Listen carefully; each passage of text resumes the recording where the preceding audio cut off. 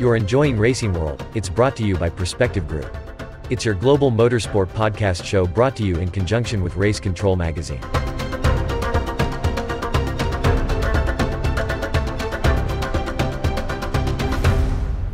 One race remains now in the 2024 NTT IndyCar Series. But before we get to that, we've got to go back a couple of races, and that was the return to the Milwaukee Mile. So here we go.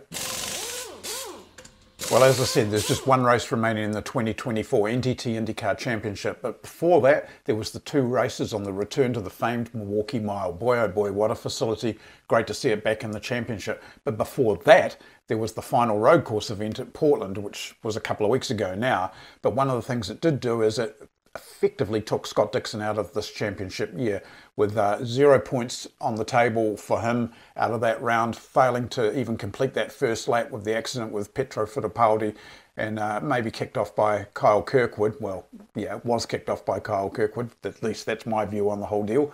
Um, it, it's meant that Dixon isn't a championship contender anymore, but more importantly, what it's done is it's moved him way down the championship order as well. And for someone who was sitting effectively second and third in the championship, he's now around that fifth, sixth mark, and that's not where we expect Dixie to be at this time of the year. But anyway, before the Milwaukee weekend kicked off, had the chance to talk to Dixon on the Friday press conference before the event got underway and just reflect on what really happened at Portland. Uh, yeah, we spoke today. Um, yeah, I don't know. It was definitely a FU move. And I explained that to him. You know, it's kind of amateur hour when you're doing stuff like that. Um, but it's also how the series allows you to race. So I don't know what the answer is on that, to be honest. Um, but in my in my way of racing, you know, the the outside the white line is there's a wall there, but you can't just run somebody completely off, you know. And then we saw the chain effect of what happened there, and then with you know with uh, Pietro, which you know Pietro really had nowhere to go, but it was because of the 27 and the issue that we had. So I don't know. I just, you know, I said I wouldn't race him like that, and and that was kind of the end of it. So.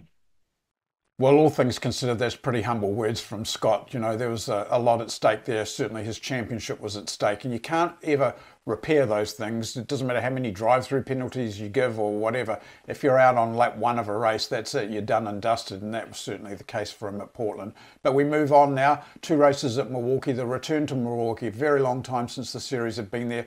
If uh, those of you who follow IndyCar racing remember the last time the, the cars were there, we didn't have the aero screen. We had these big mudguardy type things on the cars.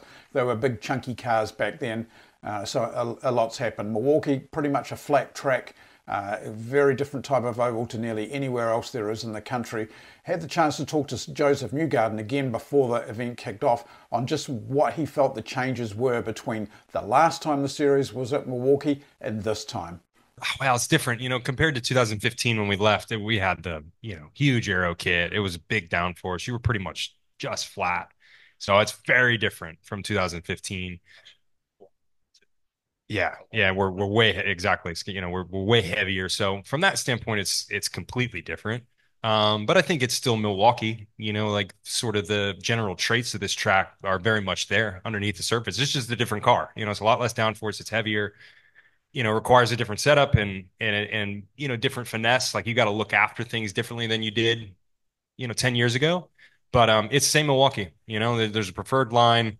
There's a there's kind of an alternate line that's uh not great but usable. So it's yeah it's it's a very interesting track. And i think if you know we get some drop off then there's there's going to be you know good racing um which i think everybody wants to see well, whether you're a fan of Josef or not, one thing you have to take into account is he certainly knows his way around a short track oval, and he's proved that time and time again uh, this year and years gone past. And of course, the Super Speedway taking out his second Indy 500 back in what seems like a lifetime ago now in May, and that was a phenomenal end to that race, that's for sure. But looking at it all, yeah, there's some changes at, at Milwaukee, but it's going to be a, a, great race. You've got to remember that this is a flat track oval, very different to anywhere else we get to. And of course, the next part of the thing was qualifying. Now, qualifying was done over a two lap distance with lap one time counting for race one and lap two time counting for race two. There was a few engine penalties and bits and pieces in there. Driver who featured quite strong in that was Kiwi Marcus Armstrong, and it was a shame we didn't get the chance to catch up with him. But what we did do is we got Scott McLaughlin and Josef Newgarden, who had uh, earned their respective positions for both those races, and got to them at the post qualifying press conference. And David Turner, Racing World, go ahead and uh, unmute yourself. I'm sure you got a question for Scotty Mack. Yeah, I have, Dave. Thanks very much. Scott, we're talking here about the evolution and the changes in the track. Um, you know, qualifying at the time you did, the time the races. By the time we get to race two tomorrow, is that track going to be even different again with the amount of rubber that it will have got from both Indy Next and you guys? I mean, I can't speak on on experience, but certainly this is the first double header that we've had here, um, even from back in the day. So I imagine it would be a lot more gripped up and the, and the line bigger. But um, yeah, we'll have to find out, Dave. We'll see. And then just just one other quick thing, just looking at, at how quick the lap time is here. This is kind of aimed at both of you, really. Um, you're going to get into the lap traffic fairly quickly, and and there was some significantly slower cars yesterday, which I think you mentioned in the press conference yesterday, Josef. You know, like does it get to the point where IndyCar wave those slower cars off, or how do you handle it when you get to the slower cars? Yeah, I mean, there's a rule in place, right? We have a 105% rule um, it's 105, right? Yep. Yeah. So, um, you know, if they're if they're excessively slow, they will get black flagged. So you you can only be so slow relative to the entire field. Um, so you know, not worried about that, but um, you know, the raceability is what's important. If you've got a place to go and and the tire provides you an opportunity to run around, then you know, having cars that are way off the pace it's not it's actually easier to come up on those cars you know cars that are similar on pace are, is where it's going to get tougher. But i think lap traffic is it's always been you know a key ingredient here to milwaukee and it'll be no different this this weekend. You got to i think it's just how it's going to be okay cool thank you very much uh, look forward to seeing the race in a couple of hours well done to both of you and uh, we'll see you in a couple of weeks at nashville as well well, as he said, things will be what they will be. And for Newgarden, of course, it was a DNF in race one. Big work for the Penske team overnight. Plus the fact that they re-livied both the cars overnight, uh, changing the sponsorship configuration. So a total new vinyl wrap, which took, I believe, somewhere around nine hours to redo both McLaughlin's car and Newgarden's car into a, a, a, race day colour scheme for race one and then a race day colour scheme for race two. So big work from the Penske boys. Uh, and then, of course, the race itself, it was a pretty good race, really. Connor Daly getting up onto the podium for Juncos Hollinger Racing. Big milestone moment for them. Um, certainly would feel that maybe Romain Grosjean fancied himself in doing that, but Daly came to the party on that one. And yeah, very big moment for them as they chase the all important leader circle money as well as the season comes closer to an end. However, the big thing over the weekend was, of course, Pato O'Ward, who took out that win in race one, and we'll hear from him in just a second. But one of the things that tended to probably irritate uh, the skin of uh, Mark Miles from IndyCar itself was Pato's comments about NASCAR getting a, a, race in Mexico and how IndyCar had dropped the ball and maybe IndyCar should have been there first. Now, obviously, you know, anyone wants a race in their own country, and the Mexican, as in Pato, was very keen for that to happen, and it kind of uh, swayed some of the move for the weekend, and there was a bit of showboating as well, which you'll see in this piece from the press conference, and of course, Will stirs it up a little bit as well.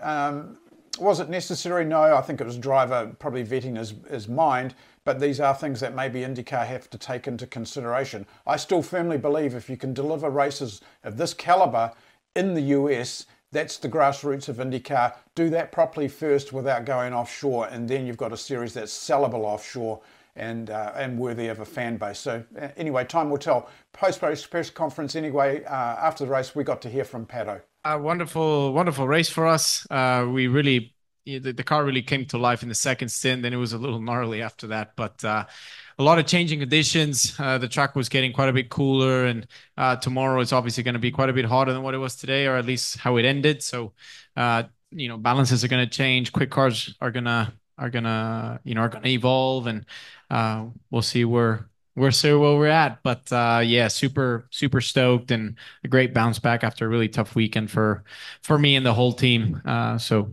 really happy that I was able to give them this and Chevy top three. That's that's that's awesome. Yeah. America. We we should be in Mexico City, not NASCAR. Oh. No. Wait, what? I say we should be in Mexico City, yeah? Will clearly in a happy mood there, of course, because this championship is still firmly alive between him and Alex Palou. A lot of clowning around in that press conference, which uh, was kind of hard to read into. But the bottom take is, of course, Pato was expressing, I think, a, a bit of mind psych opinion on his uh, Mexico vibe, shall we say. Uh, worthy win for sure, absolutely. He knows how to drive around these ovals. Very brave driver. Amazing performance from Daly. That was one that wasn't expected, considering he started 25th and ended up on the podium. So that was pretty good. Uh, big factor in that race was the fact that it was a twilight type race. A lot of drivers talking about how bad it was to drive into the sun as the sun went down. Uh, something that maybe the facility would need to look at would be lights in the future if it was to do that again, or of course, as they were to have in race two, an earlier start time, uh, which leads us to race two. So it was a complete contrast of what race one had been, which had gone green for a lot of the, the period of the race. Race two, however, on the other hand, had a fistful of yellows, all sorts of things going on.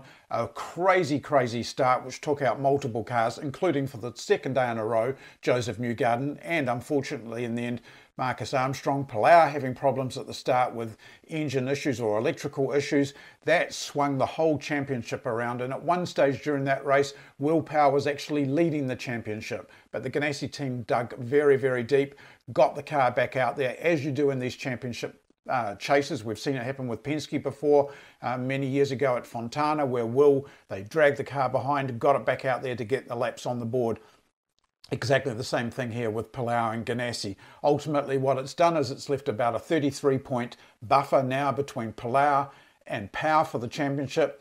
Uh, McLaughlin, our eventual race two winner, which you'll hear from in just a mo, he is also a championship contender, but effectively eliminates or gets eliminated as soon as the cars take the green at Nashville because he doesn't have enough points in, in tow. Then the battle for further back in the field, well, that's going to be really, really interesting. Where will Dixon end up in the title chase? He may actually only end up fifth, which uh, is not Dixon like, but we'll talk again more about that in a minute. But what it did do is it put a Penske car back on the podium and it was uh, Kiwi Scott McLaughlin that did it. But alongside him was the hard charging Scott Dixon. So it was a Kiwi 1 2. It was very busy for the drivers to get out of Milwaukee to get home. They were very keen to get out of there, but I had a very brief chance to catch up with Scott McLaughlin. I can have time to get to everybody on Zoom, but I do want to hit David Turner, the hometown uh, folks down under. No, guys, this is Kiwis, all right? This is Kiwis looking after Kiwis. Keep keep it Keep it short though, David. We don't Yeah, need a I'll keep- soliloquy today. I got to make a flight, bro. So let's go. I'll keep it short. I'll keep it short. First of all, another Kiwi one too. So we're we're lining up for that Kiwi clean sweep of the podium. So that's one thing Oh, that's yeah. coming. Keeping it short. Um, just just quickly, Scott. I know you've kind of touched on it, but the drivability of the track over the two days, the differences in the rubber, the temperature, everything. Did that factor into today's race, or was it just another game on? Um, it was interesting. Like I thought the bottom lane today was a little bit harder than it was yesterday. I think the heat and and it being a uh, a darker sort of tinge of asphalt, um, it was probably a little bit hotter today just to make those moves. But yeah, I mean, like the track was really fun to drive and and and slick in places. But um, once you sort of got your head around it, it was really really cool. And um, yeah, it was uh, super fun, man. Super fun. And then just just quickly, because I know you've got to go, but the the the flat track that you've had this weekend, and then back up onto a, a more elevated banked track, and you know just over two weeks' time. Um, differences for you as a driver? Do you you know what what's the first thing that goes through your mind?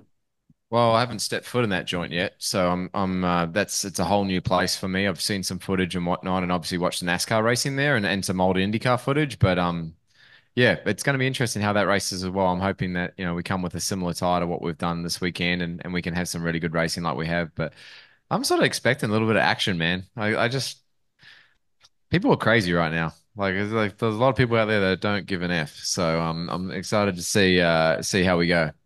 Well, a win on a, an oval certainly makes you an IndyCar driver now. There's no doubt about that. But you've been one of those for a while. Uh, really looking forward to catching up with you in Nashville. So we'll see you in about a week and a half's time. Thanks, Dave. Appreciate it, man. Need to bring some Whittaker's, David.